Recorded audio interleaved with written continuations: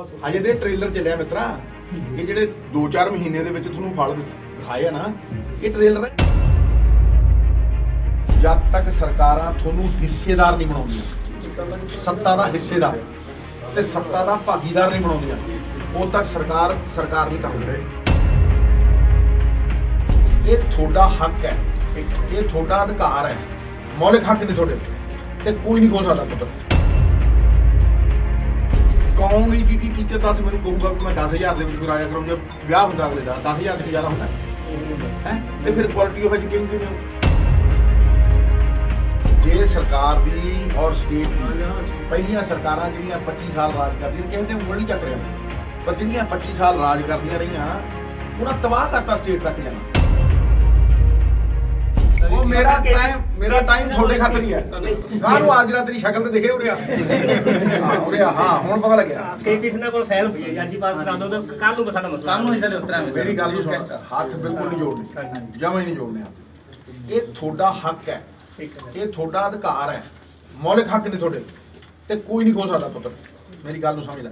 ਤੁਸੀਂ ਐਤਕੀ ਪੰਜਾਬ ਖਾਤਰ ਲੜਨਾ ਪੂਰਾ ਲੜਾਂਗੇ ਲੜਾਂਗੇ ਤੁਹਾਡੇ ਨਾਲ ਖੜੇ ਇੱਥੋਂ ਤਾਰੋ ਨਾ ਜੀ। ਅਸੀਂ ਸਰ ਪੰਜਾਬ ਖਾਤਰ ਲੜਾਂਗੇ ਤੁਸੀਂ ਸਾਡੇ ਖਾਤਰ ਲੜੋ। ਮੇਰੀ ਗੱਲ ਨੂੰ ਸੁਣੋ। ਮੇਰੇ ਲਈ ਸਾਰੇ ਪੰਜਾਬ ਦੇ ਵਿੱਚ ਤੁਸੀਂ ਹਿੱਸਾ ਹੋ। ਜਦ ਤੱਕ ਸਰਕਾਰਾਂ ਕਾਕਾ ਚੁੱਪ ਕਰੀ ਹੁਣ। ਗੱਲ ਕਰ ਲੈ। ਇਹ ਯਾਰ ਕੋਈ ਤਾਲਾ ਖੁੱਲਦਾ? ਨਹੀਂ ਚਲ ਕੋਈ ਗੱਲ ਨਹੀਂ ਸਰ। ਦੇਖੋ ਜਦ ਤੱਕ ਸਰਕਾਰਾਂ ਤੁਹਾਨੂੰ ਹਿੱਸੇਦਾਰ ਨਹੀਂ ਬਣਾਉਂਦੀਆਂ ਸੱਤਾ ਦਾ ਹਿੱਸੇਦਾਰ ਤੇ ਸੱਤਾ ਦਾ ਭਾਗੀਦਾਰ ਨਹੀਂ ਬਣਾਉਂਦੀਆਂ ਉਦੋਂ ਤੱਕ ਸਰਕਾਰ ਸਰਕਾਰ ਨਹੀਂ ਕਹਾਉਂਦੀ ਉਹ ਕਦੋਂ ਹੋਊਗਾ? ਜਦੋਂ ਤੁਹਾਡੇ ਦਿੱਤੇ ਟੈਕਸਾਂ ਦੇ ਪੈਸੇ ਤੁਹਾਡੇ ਕੋਲ ਦੁੱਗਣੇ ਤਿੱਗਣੇ ਹੋ ਕੇ ਵਾਪਸ ਆਉਣਗੇ ਭਾਵੇਂ ਕਿਸੇ ਸੜਕ ਦੇ ਰੂਪ 'ਚ ਹੋਣ ਭਾਵੇਂ ਕਿਸੇ ਸਕੂਲ ਦੇ ਰੂਪ 'ਚ ਹੋਣ ਤੁਹਾਡੇ ਬੱਚਿਆਂ ਖਾਤਰ ਤੇ ਭਾਵੇਂ ਤੁਹਾਡੀਆਂ ਤਨਖਾਹਾਂ ਦੇ ਟੀਏਡੀਏ ਦੇ ਰੂਪ 'ਚ ਹੋਣ। ਮੈਂ ਤੇ ਪੇ ਕਮਿਸ਼ਨ ਦੀ ਵੀ ਗੱਲ ਕਰਦਾ। ਜੇ ਸਰਕਾਰ ਦੀ ਔਰ ਸਟੇਟ ਦੀ ਪਹਿਲੀਆਂ ਸਰਕਾਰਾਂ ਜਿਹੜੀਆਂ 25 ਸਾਲ ਰਾਜ ਕਰਦੀਆਂ ਕਿਸੇ ਤੇ ਉਂਗਲ ਨਹੀਂ ਚੱਕ ਰਿਹਾ। ਪਰ ਜਿਹੜੀਆਂ 25 ਸਾਲ ਰਾਜ ਕਰਦੀਆਂ ਰਹੀਆਂ ਉਹਨਾਂ ਤਬਾਹ ਕਰਤਾ ਸਟੇਟ ਤੱਕ ਜਾਣਾ। ਜੀ ਸਰ। ਸਮਝ ਨਹੀਂ? ਪੱਲੇ ਵੀ ਧੇਲਾ ਕਰਦੀ ਮੇਲਾ ਮੇਲਾ। ਜੀ। ਜਦੋਂ ਤੱਕ ਵਿੱਤੀ ਪਰਿਸਥਿਤੀ ਬੇਟਾ ਠੀਕ ਹੁੰਦੀ ਨਹੀਂ ਜੀ। ਮੈਂ ਕਿਹਾ ਨਾ 1000 ਕਰੋੜ ਰੁਪਇਆ ਚਾਹੀਦਾ ਸਾਰੇ ਦੇ ਸਾਰੇ ਟੀਚਰ ਜਿੰਨੇ ਟੀਚਰ ਉਹ ਸਾਰੇ ਘਰੇ ਜਾ ਸਕਦੇ ਜੀ।